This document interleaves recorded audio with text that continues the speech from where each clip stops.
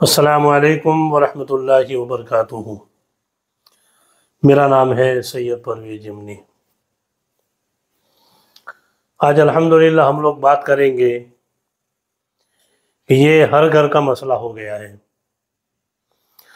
और कुछ लोगों के अंदर ये बात भी देखी है कि जब कोई मसला होता है तो आपस में डिस्कस करते हैं और बात को कहाँ से कहाँ ले जाते हैं, मगर अपने मस्जिद के इमाम का या किसी आलिम दीन का कांटेक्ट नहीं करते हैं।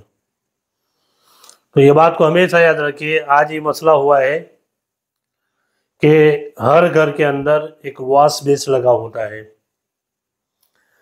तो अगर कोई बंदा मस्जिद में वज़ू ना करके अपने घर में वॉश बेस के ऊपर खड़े होकर वज़ू करता है तो उसका वज़ू होता है कि नहीं होता है? अब इसके अंदर अलग अलग तावीलें हो जाती है अलग अलग मसले हो जाते हैं अलग अलग बातें हो जाती है, मगर हम शरीयत को नहीं देखते, इस्लाम को नहीं देखते। सबसे पहली बात कि बैठ कर वज़ू करना ये अल्लाह के रसूल की सुन्नत है। मगर किसी के घर के अंदर ऐसे बैठ कर वज़ू करने की व्यवस्था नहीं है। और वो बंदा अपने घर के किसी भी जगह पर वॉश लगा हुआ है।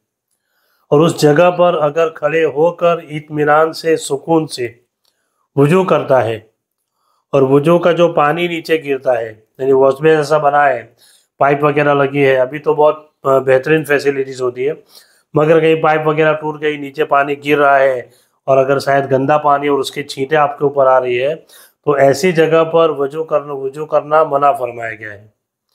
मगर ऐसा है कि आपका वॉश बेस बहुत बेहतरीन है नीचे पानी नहीं टपक रहा है। तो अगर कोई बंदा खड़े होकर वज़ू करता है, तब भी उसका वज़ू हो जाता है, कोई कराहत नहीं है। कोई प्रॉब्लम नहीं होगा, उसका वज़ू हो जाएगा। हाँ बैठ कर वज़ू करना ये अल्लाह के रसूल की सुन्नत है। अगर कोई बैठ कर वज़ू करेगा इतमान और सुकून के साथ तो उसको ज़्यादा सवाब मिलेगा। मगर कोई बंदा खड़े होकर वॉश बेस के अंदर अगर वज़ू करता है तो उसका वज़ू हो जाएगा, कोई प्रॉब्लम की बात नहीं है, कोई दिक्कत की बात नहीं है। अब तो हम हजरात से गुजारिश करूँगा, हमारे चैनल को सब्सक्राइब करें, ऐसे वीडियोस को ज़्यादा से ज़्यादा शेयर करें, ताकि लोगों तक ये बात, दीन की बातें पहुंचाई जाए, और अल्हम्दुलिल्लाह लोग ऐसी बातों पर अमल करने की कोशिश करें। अस्सलाम वालेकुम वरहमतुल्लाहि वबरकातुहू।